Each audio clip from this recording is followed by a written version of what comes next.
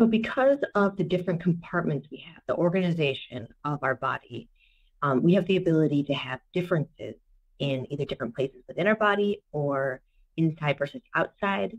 Um, these differences are called gradients. So, a gradient is either a difference in one place in something versus another place. Um, so, like a temperature gradient, pressure gradient, we'll talk about the ones that are relevant. Um, a gradient also can refer to a slope.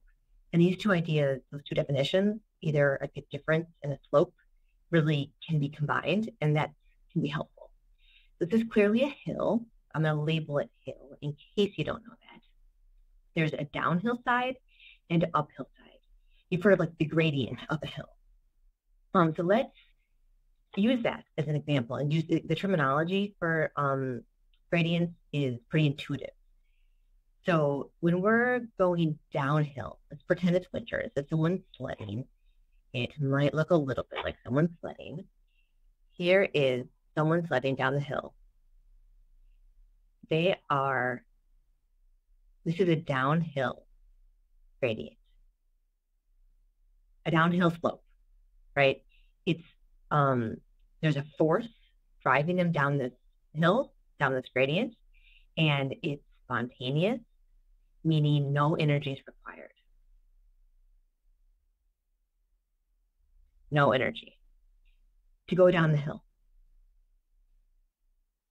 When they went up the hill in the first place, to get up the hill, there is work required, energy. So this uphill gradient does require ATP in this case, literally like muscles contracting to go up the hill, right? Um, and our body is going to be ATP to do that. So this way, the downhill gradient, this way is an uphill gradient.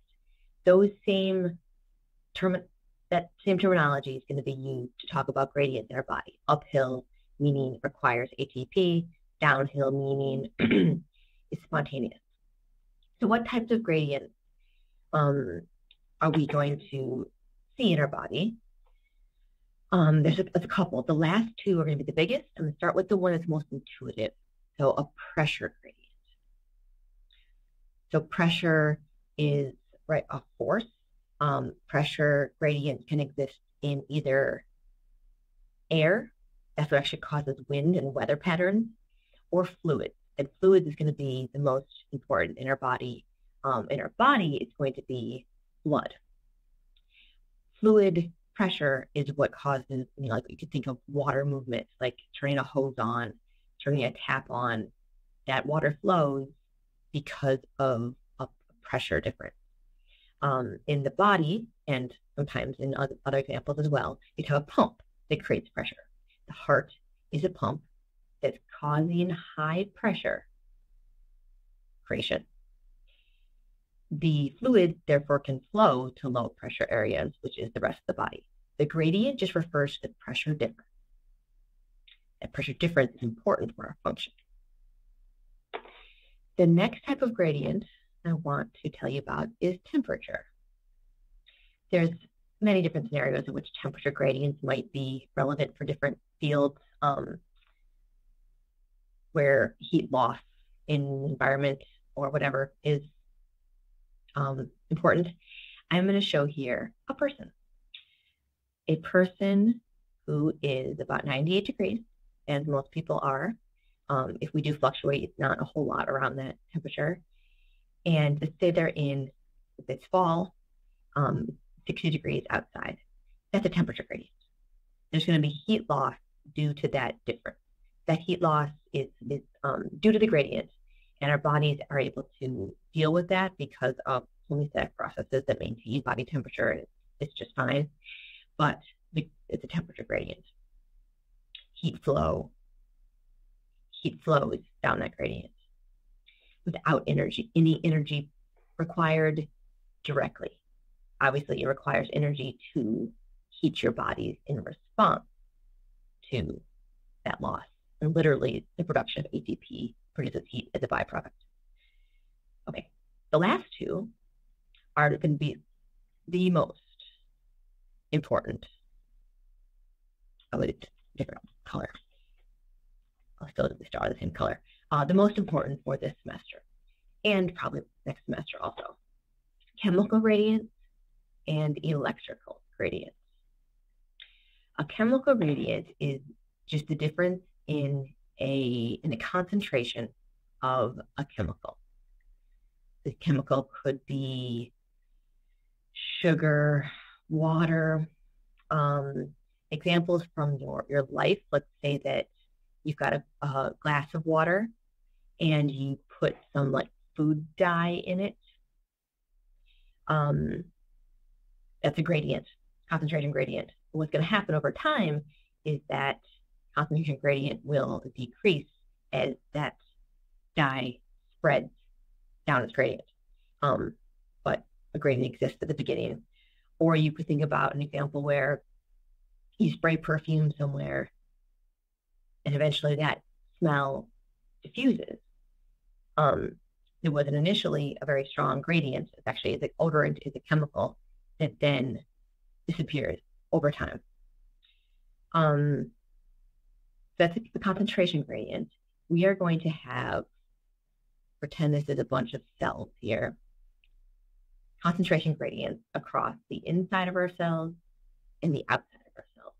And there's some cells, and you know the terms for inside and outside the cells, ECF and ICF. There might be a higher concentration of, say, glucose, sugar, outside the cell and lower inside the cell. It could be a gradient. And therefore, there's a drive for that glucose to move into the cell. Um, there are other factors that are going to matter in terms of whether it can get in, but there is a force, a drive spontaneously for it to move in without energy input if it's higher here than it is there. If it's lower inside the cell than outside the cell, there's going to be a drive for it to move out. I'm just going to add that word here, drive. Lastly, we've got electrical.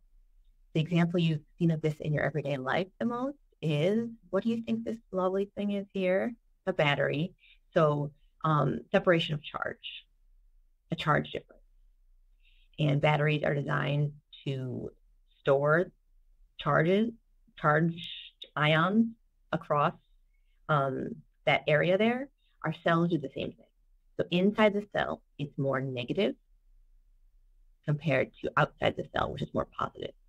We'll go into much more detail what this means, like literally what is making it positive. It's ions. Um, so for example, one of the positive ions is Na plus sodium.